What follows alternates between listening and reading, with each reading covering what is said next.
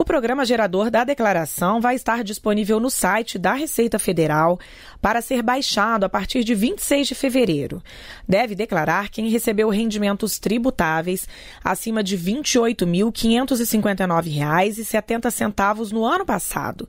Também quem recebeu rendimentos isentos, não tributáveis ou tributados exclusivamente na fonte, cuja soma foi superior a 40 mil reais.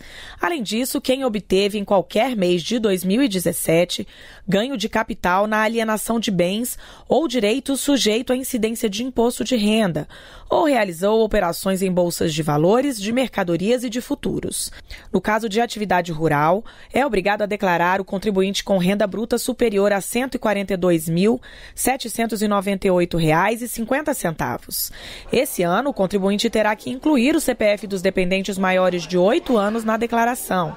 Outra novidade é que o contribuinte vai poder retificar a declaração por meio do aplicativo para tablets e celulares. Importante dizer que para fazer essa retificadora num equipamento móvel, ele terá que ter eh, eh, necessariamente entregue a declaração original nesse equipamento. A Receita espera receber esse ano quase 29 milhões de declarações com a melhoria na renda dos contribuintes.